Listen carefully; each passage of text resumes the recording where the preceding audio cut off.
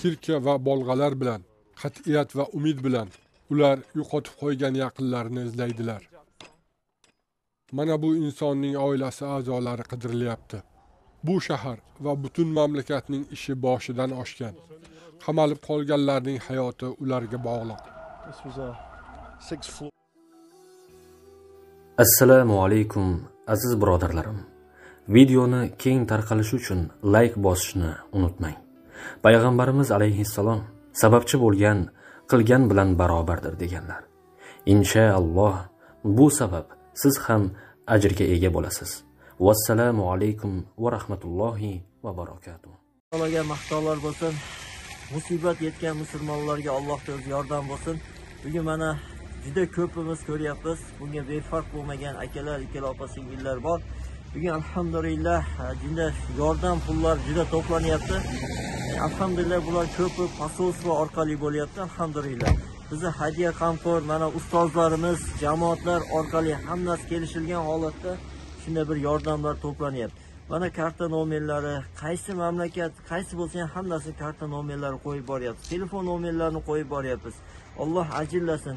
Xususan aytmoqchimanki, shu videolarga befarq bo'lmay tarqatinglar. Hech bo'lmasa ummat duolarga muhtojmiz. Duoda bo'lsa ham yordam beringlar.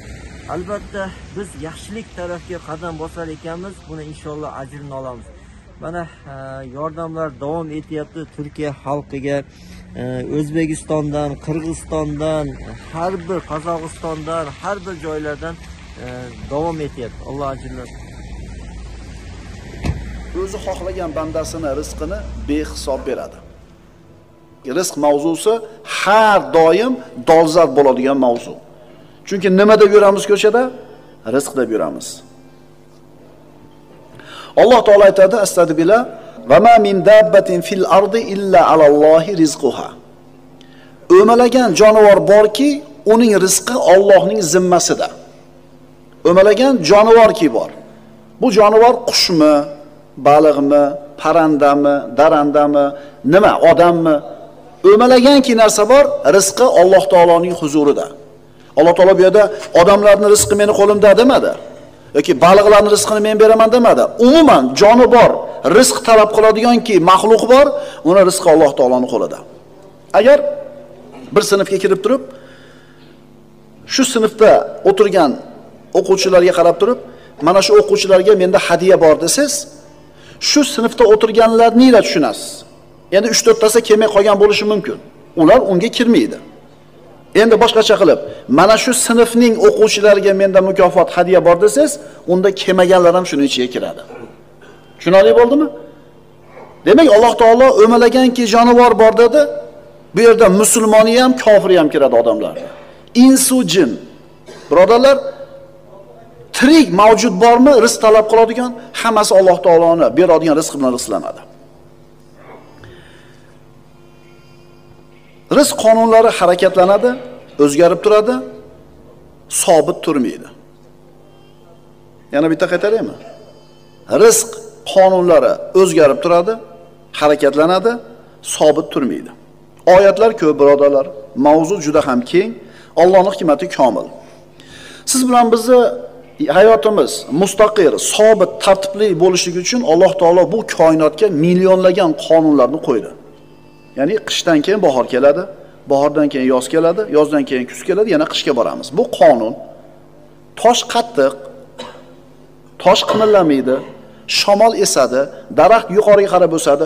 Xullas millionlagan qonun qoida bor shu qonunlar ishlab turadi hayot o'zi o'rnida ketishligi uchun. Masalan yer shari. Aylanib turishi kerak u. Aylanmasa bilasizmi nima bo'ladi? Quyosh tekkan joylar kuyib ketadi quyosh tegmagan joy muzlab ketadi. Bu ham bitta qonun.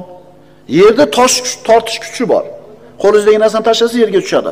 Shunga o'xshagan millionlagan qonun qoidalar bor bular o'zgarmaydi. Harakatlanmaydi. Ammo rizq va sihat salomatlik qonunlari bor bular o'zgarib turadi harakatlanib turadi. Go'yoki bu rizq va sihat degan qonun siz bilan bizni tarbiyalaydigan alloh taoloning ikkita bir asbobiga o'xshaydi. Astag'firullah va tariqati la Robbimiz azza va jalla aytayapti. Albatta agar ular to'g'ri yo'lda ustuvor turganlarida albatta biz ularni mo'l yomg'ir bilan sug'organ bo'lar edik. ولو أن أهل القرى آمنوا واتقوا لفتحنا عليهم بركات من السماء والأرض agar ana shu shahar yoki qishloq ahli Alloh taolodan Alloh taologa iymon keltirib taqvo qilganlarida biz ularga osmon va yerdan barakot darvozalarini ochib qo'ygan bo'lar edik.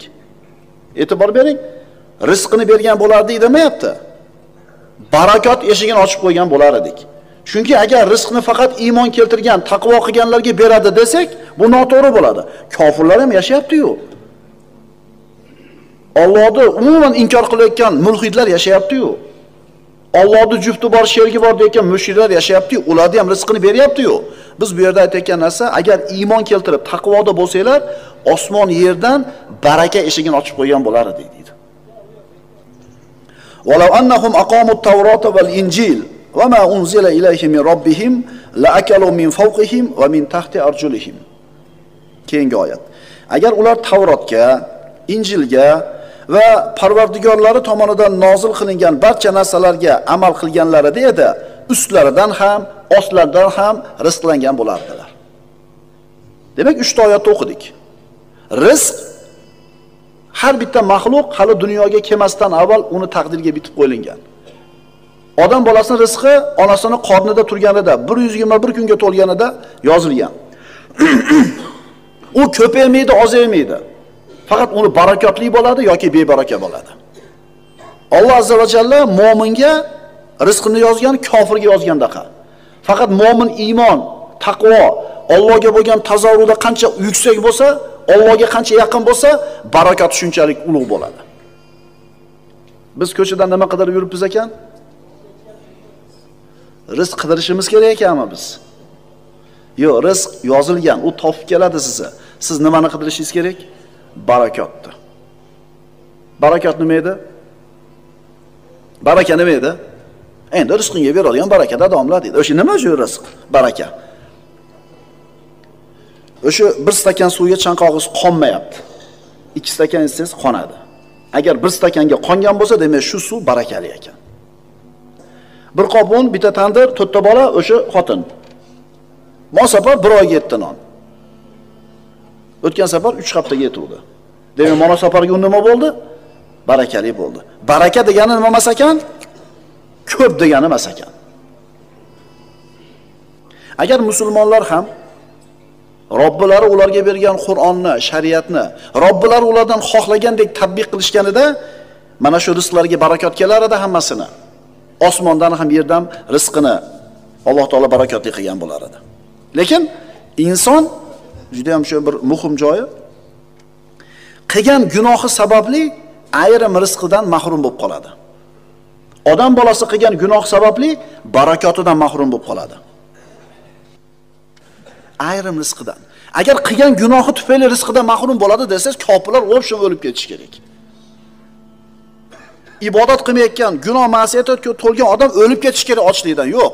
Qilgan gunohi uni rizqini yo'q qilib qo'ymaydi balki ba'zi rizqini yo'q qiladi rizqidagi barakotni yo'q qiladi.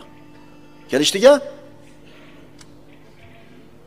demak alloh taolo rizq qonunlarini o'zgarib turadigan harakatlanadigan qilib qo'ydi. Uni iymonga istiqomatga alloh taoloning amriga bog'lab qo'ydi. Ammo boshqa qonunlar vujuddagi bu narsalarga bog'liq emas. Masalan kofirlarni yurtida ham tosh yerda turadi tashlasangiz qo'yib yuborsangiz suv pastga qarab oqadi shamol esadi. Bu qonunlar insonlarda taqvo ibodatiga aloqasi yo'q. Ular o'z o'zidan ketaveradi. Chunki bular agar taqvoga baylab qo'yganida chataq bo'lardi unda. astag'firullah فقلت استغفروا ربكم إنه كان غفارا يرسل السماء عليكم مدرارا ويمددكم بأموال وبنين ويجعل لكم جنات ويجعل لكم أنهارا Nuh alayhissalom o'zini qavmini da'vat qildi. Va Robbisiga shikoyat qilib dedi: "Ey Robbim, men dedimki, Parvardigoringizdan mag'firat so'rang. Albatta u o'ta mag'firatli bo'lgan zotdir. Shunda u zot ustlaringizga osmondan yomg'ir quydirur va sizlarga molu dunyo, bola chaqa bilan madad berur hamda sizlarga bog'i bo'stonlar ato qilur va sizlarga oqar daryolar ato qilur. Iymon keltiringlar, taqvo qilinglar, istig'for aytinglar. Mana shu xayriyat ustinglarga keladi. Bu bizga ham tegishli narsa. Mana Ramazonda o'tiribmiz, birodarlar. Ramazon oyida qilingan nafl amallar boshqa oyda qilingan farz amallar qatorida bo'ladi, savobi. O'rnini egallamaydi, savobi. Endi Ramazonda qilingan farz amallar boshqa oylarda qilingan farz amallardan 70 barobar savobi ko'p bo'ladi. Demak, bu oyda qilingan zikr, istig'for ham ajri mana shunday ulug' bo'ladi boshqa oylarga nisbatan. Temir. Mana hayot o'zini maromida ketishlik uchun Alloh taoloni qo'ygan boshqa qonunlari sobit turish kerak. Mana temir. Mustahkam bir metal mana. Endi shu asosi metal bo'lgan, asosi temir bo'lgan katta bir baland qavatli imorat tasavvur qiling. Shu temir o'zini xususiyatini yo'qotmaydi, u o'zini qonunida sobit turadi, imorat mustahkam turadi. Agar temirni qonuni o'zgarsa, yumshoq bo'lsa, chirisa, sifati ketsa, imorat nima bo'ladi? Qulab ketadi. Ko'mir yonadi, suv oqadi, don hokazo. Bularda hammasi hayot davom etishligi uchun qonuni o'zgarmaydi, o'zini maromida ketadi. Ammo ikkita narsa, rizq va salomatlik bu qonunlari sobit emas. Bular o'zgarib turadi. Alloh bilan bandaning o'rtasida bo'layotgan muomalaga, munosabatga qarab turib o'zgarib turadi. Shuning uchun Alloh taolo rizqdagi barakotni, qalbdagi xotirjamlikni iymonga, taqvoga, istiqomatga bog'lab qo'ydi. Mana endi birodarlar, bir ajib bir bahs bor. Kitobi sunnatga muvofiq. Nima qilsak, rizqimiz ziyoda bo'ladi, rizqimiz barakotli bo'ladi. Rizqimiz ko'p bo'ladi emas. Ko'p degan so'zni nima qilaylik? Rizq masalasida musulmon ko'p degan so'zni chiqarib tashlashlik kerak. Ziyoda degan so'zni ishlasin, barakot degan so'zni ishlasin. Ko'paymaydi ham, ozaymaydi ham. Millionta odam duo qilsin haqqingizga. Mingga kiring deb. Kirasizmi mingga? Mana dalil. Butun yer ahli qancha 7 milliarddan o'tdimi? 8 milliard to'layaptimi? Hammasi duo qilsin, 350 yil yashang deb. Yashaysizmi? Yo'q. Yashamaysiz. Chunki u rizq ajal degan punktida onamizni qornida 121 kunga to'lgan yozib qo'ygan. Bir, ya'ni yaxshilik, ota-onaga yaxshilik qilishlik, siylay rahim, umrni ziyoda qiladi deganda yilini cho'zib qo'yadi deb tushunmaylik. Balki mana shu 50 yil, 60 yil berilgan umrda juda ko'p xayriyatlarga imkon topasiz. Ko'p narsaga ulgiysiz. Imom buxoriyni hayotini misol qilamiz u 63 ga kirib o'lgan, lekin hayotda qilib qodirib ketgan narsasini qarasangiz, odam bolasi 63 yilda ulg'maydi buncha narsaga. Bu 63 yil ichida yosh bolaligi bor, bolaligi bor, yigitligi bor, bo'ydoligi bor, uylangan davri bor. Tug'ilib kitob yozishni boshlaganda ham inson ulgimas ekan 63 yilda buncha narsaga. Mana shu Imom Buxoriyning hayoti barakotli bo'lganligiga bitta dalil bo'ladi. Demak, nima qilsak, kitobi sunnatga muvofiq ish qilsak, qanday yo'l tutsak, rizqimiz barakotli bo'ladi, umrimizni Alloh taolo ziyoda qiladi. Rizq so'zining ma'nosi. Rizq deganda biz faqatgina pulni tushunamiz, umrni tushunamiz, bola chaqani tushunamiz, mashinani tushunamiz, shular. Lekin rizq degan narsa birodarlar bundan kengroq narsa. Kengroq narsa. Astagfirullah va taj'aluna rizqakum annakum tukazzibun. Alloh taolo aytibdi va sizlar Qur'onni yolg'on deyishdek badbaxtlikni o'zlaringizning rizq nasibalaringiz qilib olarsizlarmi? Bir kishi Allohni tanidi. Bu rizq. Bir odam Allohdan yuz o'girdi, kofir bo'ldi. Bu ham rizq. Bu ham unga berilgan narsa. Birinchi odam iymonni talab qilib, Alloh taolaga bir qadam bosuvdi, so'rovdi, berdi iymonni. Ikkinchisi Allohdan yuz o'girib teskari qarab ketdi, Alloh taolaga kufrni berdi. Bu ham kufrni so'rab oldi o'zi. Alloh kofir qilib qo'ygani yo'q uni. Agar Alloh taolo bir bandani qalbiga xotirjamlik bergan bo'lsa, bu rizq. Alloh bergan kunga rozi bo'lyapsiz. Rizo bor qalbingizda, bu ham rizq. Qalbingizga sakinatni berdi, bu ham rizq. Qarangda, rozilik, sakinat, xotirjamlik. Bu uchta narsa puli bor odamda ham bo'lishi mumkin, puli yo'q odamda ham bo'lishi mumkin. Agar bu uchta narsa, xotirjamlik, sakinat, rozilik Faqat puli bor odamda bo'ladi deyilganida puli yo'q odam yo'q odamlar bu narsaga hech qachon yeta olmagan bo'lar edi. Lekin taassub biz odamlarimiz pul bo'lsa pul bo'lsa ha birodarlar biz kambag'allikda maqtayotganimiz yo'q. Musulmon odam kambag'al bo'lganidan boy bo'lgani yaxshi. Payg'ambarimiz duo qilganlar: "Allohumma inni a'udhu bika minal kufri val faqr." Parvardigor men sendan kufrdan va faqrlikdan panoh so'rayman degan. Musulmondan boy bo'lishga intilish kerak. Endi bermayapti. Rizqingiz qo'lingiz kalta. Endi nima qilish kerak? Demak, shu rizqim shu ekan deysiz, xotirjamsiz, rozisiz, qalbingizda sakinat bor. Endi shu puli bor odamlarni qarang. Hammasida ham shu 3 ta narsa bormi? Chunki mana shu 3 ta narsa ham rizq ekanda o'zi alohida. Masalan, sochingiz, ko'zingiz, bo'yingiz, oyoq qo'lingiz rizq bo'lganda, mana shu 3 ta narsa ham alohida rizq ekan. Bu pulga bog'lanib keladigan narsa emas ekan. Sizga ato qilingan narsa borki, u rizq. Tinchlik, xotirjamlik rizqlarning eng ulug'idan. Tanada tanadagi sog'lik, salomatlik ne'matning eng ulug'laridan. Bu berilgan narsalar. Endi birodarlar, bu rizqni salbiy rizq deb ataladigani ham bor ekan. Salbiy rizq. Nima bo'lishi mumkin deb o'ylaymiz uni? Berilmagan narsa ham rizq bo'lar ekan, birodarlar. Bu salbiy rizq der ekan ulamolarni tilida. Berilmagan narsa. Masalan, kasallik bermadi sizga. Bir zolimni zulmini ostiga sizni kirgizib qo'ymadi. Shulardan saqlab qo'ydimi? Shu ham rizq ekan. Chunki boyaga kasalni bersa, shu kasalni o'zingizdan daf qilishlik uchun boringizni sarf qilarmidingiz? Kasal bo'lmay turganligingiz ham nima ekan? Rizq ekan. Sizni ustingizga bir zolimni zulmini olib kelib qo'ysa, Alloh saqlasin. Shu zulmni o'zingizdan nari qilishlik uchun borib burdingizni sarflarmidingiz? Qarangda. Alloh taolo bergan rizq ham bor ekan. Alloh taolo bermay berib qo'ygan rizq ham bor ekan. Qarang, berib turib bergan rizq, bermay turib bergan rizq. Bu salbiy rizq deyiladi. Endi uni sanog'i yo'q, a? Endi kasalni qanaqa turlarini eshitgansiz? Demak, salbiy rizq bu shunday bir rizqki, u sizga berilmagan narsa. Kasal qilmadi, qarzga botirib qo'ymadi, zolimni zulmiga sizni kirgizib qo'ymadi. Demak, rizq degani faqatgina nimani tushunmaylik? Qo'limizda turgan, ko'zimiz ko'rib turgan narsani tushunmaylik. rizqni ma'nosi juda ham keng ekan.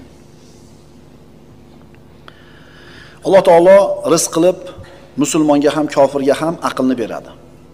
Rizq qilib sog'likni beradi. Rizq qilib go'zallikni beradi. Ammo birodarlar, sakinat, xotirjamlik, kunidan rozi bo'lishlik degan narsani faqat mo'min bandasiga beradi. Va bu narsalar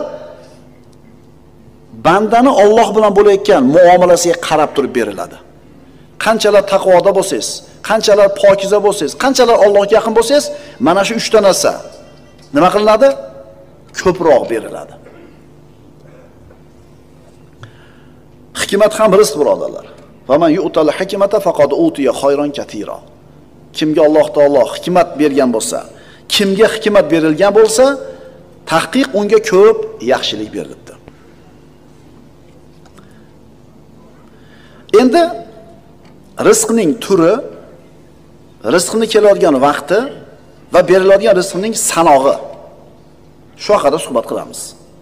Nima nimasi bo'ldi? Rizqni turi, beriladigan vaqti va beriladigan sanog'i. Albatta bunda ham Alloh taolaning ulkan hikmati bor. Razzoq bu rizq beruvchi, yana bitta ma'nosi rizqlarni yaratib beruvchi. Rizqlarni yaratib beruvchi. Har kun uchun birodarlar, har kuni, har kuni ovqat uchun qancha hayvon so'yiladi? Uni yolg'iz Alloh o'zi bilsa kerak. Har kuni non uchun qancha don dun tegirmondan chiqariladi? O'ylab ko'rganmizmi? Ha, biz hisob kitobini qiladigan narsa nima u? Semeyniy byudjet. Yo'q, byudjetimizga to'g'ri kelmaydi. Hozir to'rtta balon ola olmaymiz deydi. Uni keyingi oyga qo'yamiz deydi. Chunki uyingizga kirib chiqib ketayotgan narsani siz erkak kishi bo'lib, ota bo'lib, rahbar bo'lib boshqarib turganligingiz uchun bilyapsiz. E bilasizmi, birodarlar, Alloh taolo bandalarni rizqini berayotganda buni sanog'ini kim biladi? Bug'doyni o'stirayotgan kim? Alloh. Hayvonlarni ko'paytirib, semirtirayotgan kim? Alloh. Yomg'irni ustimizga yog'dirib, yerdan ko'katlarni undirayotgan kim? Alloh. Hayvonlarni yelanini sutga to'ldirayotgan kim? Alloh. Bandalarni mana shu ishga bir aloqasi bormi? Yomg'ir yog'may qo'ysa nima bo'lamiz, birodarlar? Razzoq Robbimiz musulmoniga ham kofirga ham shu yomg'irni beryapti. Chunki ular taqdir qilingan umrni yashab o'tish uchun mana shu bir rizqiga muhtoj bo'ladi.